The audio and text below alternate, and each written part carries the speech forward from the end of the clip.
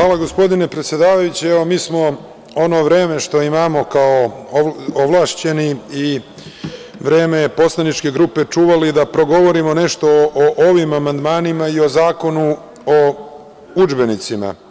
Odmah na početku ću da izrazim žaljenje što nema gospodina ministra prosvete, gospodina Šarčevića, jer je on određen ispred Vlade za predstavnika u Narodnoj skupštini i ja sam voleo da sa njim porazgovaram o ovim amandmanima.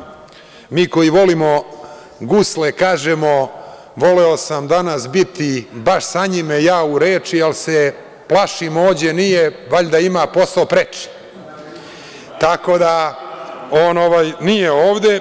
Član koji predlažemo da se promeni jeste peti član i da se u tom petom članu tačka 4. obriše. Naime, radi se o udžbenicima na jeziku i pismu nacionalnih manjina.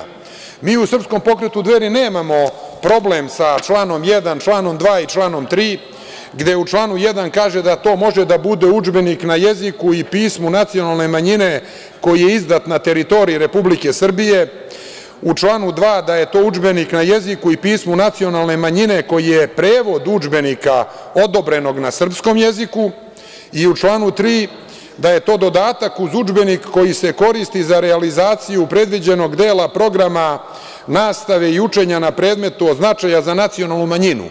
Ali svakako imamo veliki problem sa članom 4. koji kaže da je to udžbenik na jeziku i pismu nacionalne manjine izdat u stranoj državi koji je izabran u skladu sa ovim zakonom. Ovo što je izabran u skladu sa ovim zakonom malo blaži ovu prvu priču da je to udžbenik koji je izdat u stranoj državi. Ja gospodu iz Ministarstva za prosvetu, koja je ovde prisutna, pitam da li je ona imala priliku da gleda kako izgledaju udžbenici izdati u okolnim državama koji su nastali raspadom one prve, pa potom ove druge države. Družeći se sa mojim prijateljima Srbima iz Crne Gore, imao sam prilike da gledam kako izgledaju udžbenici za njihovu decu, za istoriju ili geografiju.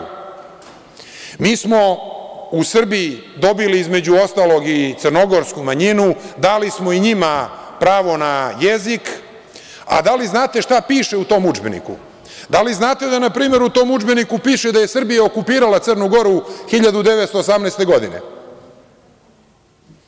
I kako je moguće da mi, kao država koja vodi računa o svom nacionalnom interesu, dozvolimo da tako nešto možda uđe u nastavni program za nacionalne manjine u državi Srbiji?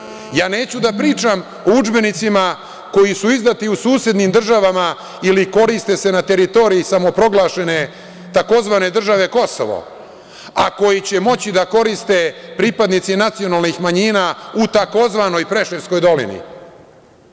Apsolutno je neodrživo da ovaj četvrti stav ovog petog člana ostane u predlogu zakona, jer može da otvori mnoga pitanja koja mogu imati najrazličitije konsekvence u vremenu koje dolazi pred nama. Zato mi je zaista krivo i zato sam citirao gusle zašto nema gospodina Šarčevića, jer on je jedan od ministara koji je uvek spreman da uđe u polemiku i u raspravu, po znacima navoda, sa narodnim poslanicima, ali na moju veliku žalost, a čini mi se, nije sporno što je to moja žalost, nego na štetu e, građana, ovo će ostati u zakonu, a ovaj amandman je odbijen. Ostaću bez teksta, gospodin Ružić, uz dužno poštovanje njegovo, nije čovek koji se ovom problematikom bavi i to nije pitanje njegovog ministarstva, te zato smatram da ne može da bude kompetentan da mi on pruži odgovor. Nažalost, ostaće ovako kako jeste, a to nije dobro. Hvala.